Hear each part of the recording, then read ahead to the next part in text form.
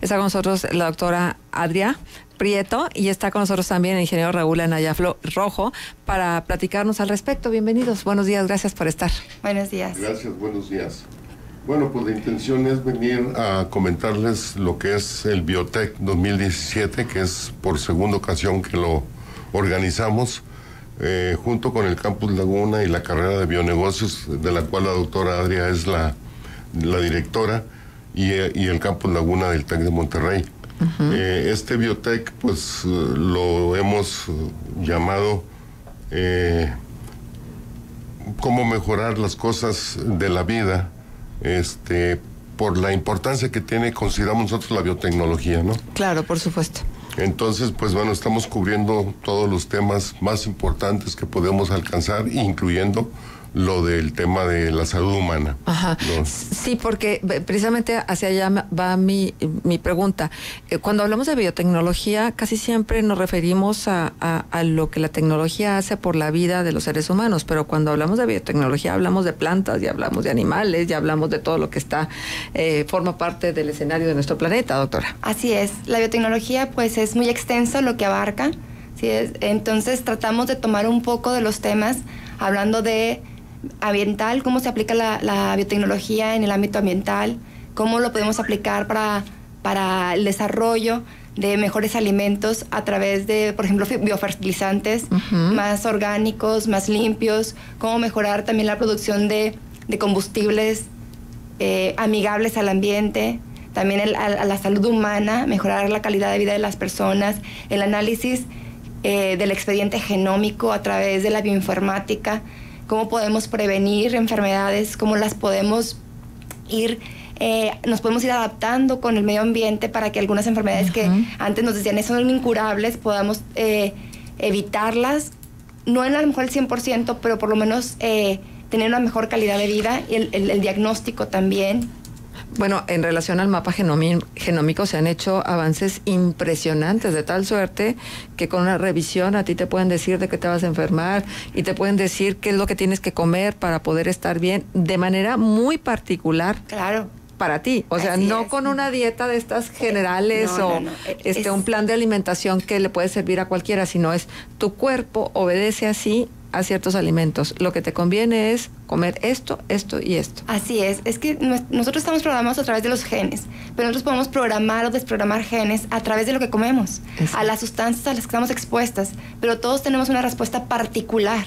Y como usted decía, no es solamente que nos den una dieta todos general porque somos personas in individuales, nuestros genes son diferentes, incluso entre hermanos ni siquiera pueden ser, o sea, a menos que sean gemelos idénticos, entre hermanos comparten algunas características, pero cada uno tenemos necesidades eh, di diferentes, particulares, y a eso va la medicina, una medicina personalizada, ¿no? Y uh -huh. para eso existe el expediente genómico que es muy, muy difícil de analizar si lo hiciéramos a mano, por eso también un tema importante para nosotros es el uso de la bioinformática para uh -huh. estos análisis. Uh -huh.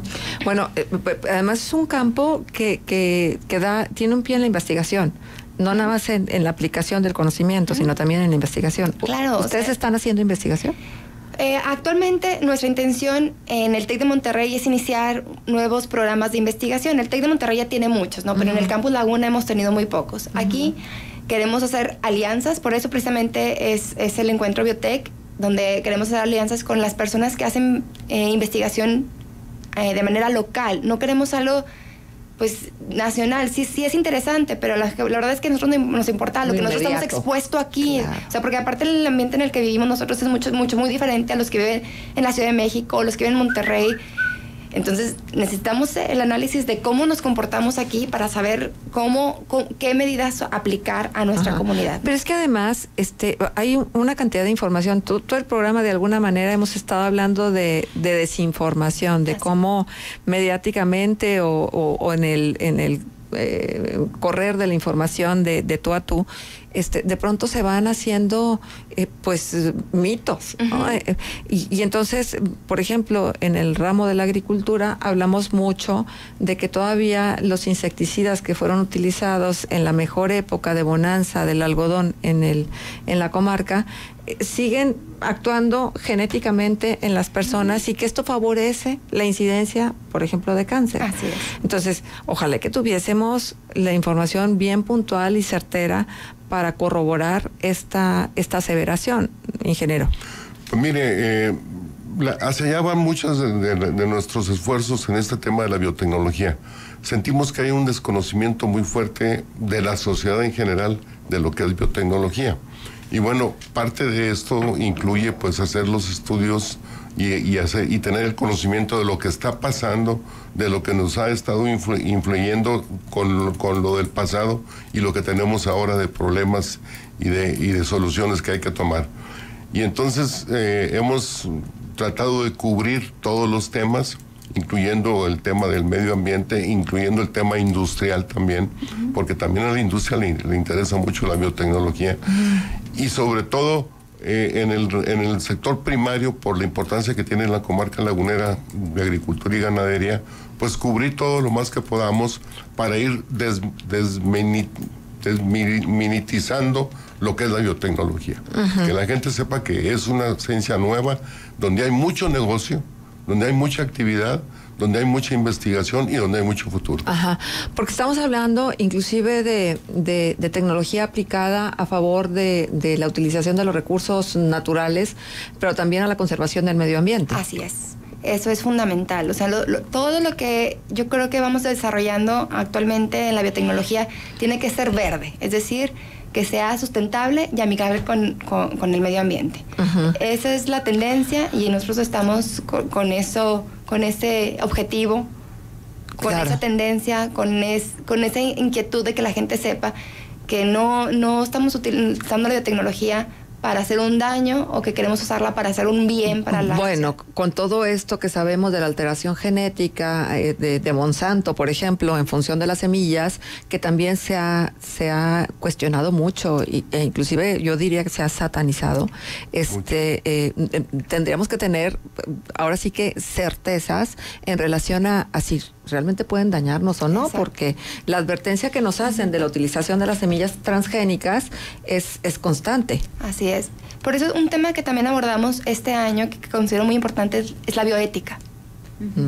Este es un tema fundamental que tenemos que, como profesionistas en cualquier profesión, pues la, la ética tiene que ser la parte que nos rige. Entonces, la bioética todavía está, está en desarrollo porque son temas a los que nos estamos expuestos con mucha información, pero muy pocas pruebas. Bueno, muéstrenme pruebas, pero la bioética es, antes de tener pruebas, yo sé que esto no lo debo de hacer o sí lo debo de hacer y tengo que hacer el análisis antes de saber que sí me está haciendo un daño.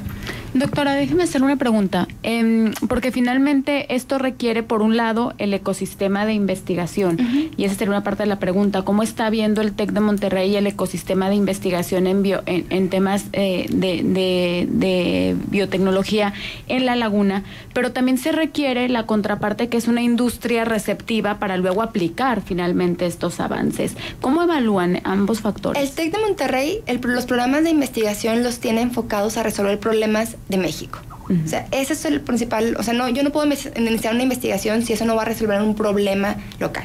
Entonces, eh, hay diferentes eh, enfoques de investigación. Uno, por supuesto, es la salud. Otro ese es el desarrollo de alimentos eh, funcionales, utilizando nuestros propios alimentos, por ejemplo, la reutilización del nopal, qué beneficios tiene como un tratamiento, no, no solamente como alimento nutritivo, sino qué beneficios me trae. La utilización de muchos productos como hasta el chile, como tratamiento, o ajo, como antisépticos o antibióticos. La gobernadora, el orégano, que son, nativos, Así es, especies endémicas. Pero esa es la forma en que evalúa el TEC. ¿Qué va a resolver de la comunidad o de, o de problemas de México para poderlo aplicar? Si yo salgo con una idea que no va a ayudar a la sociedad, no se me va a apoyar. Entonces son, eh, son siete, hasta ahorita son siete grupos de enfoque eh, estratégicos. Aquí en La Laguna nuestro, nuestro principal objetivo, como ustedes ahorita han mencionado, pues ha sido la parte de la agricultura y la ganadería, que son nuestras fuentes más importantes de ingresos. Entonces, ¿cómo apoyamos a través de la biotecnología? Y como decías, que la, la industria esté receptiva a eso que nosotros queremos. Y hasta el momento pues la, la, la respuesta en- localmente ha sido extraordinaria. Ajá. La carrera que ustedes ofrecen en el Tecnológico Monterrey es así, biotecnología, se llama. No, ahorita sí es ingeniería en bionegocios, la que tenemos completa aquí en Laguna. Ingeniería Pero obviamente también tenemos ingeniería en biotecnología. Ajá, en, en el campus Monterrey. Campus Monterrey, Campus Querétaro, Campus Chihuahua. ¿Y qué tanta aceptación tiene entre los alumnos? Es muy, muy alto. Tenemos Ajá. muchos aspirantes a ser biotecnólogos. La verdad es que es una carrera que yo considero que no es requieren un gran compromiso por la parte ética y social que conlleva, eh, pero sí tenemos, es muy, muy, muy aceptada.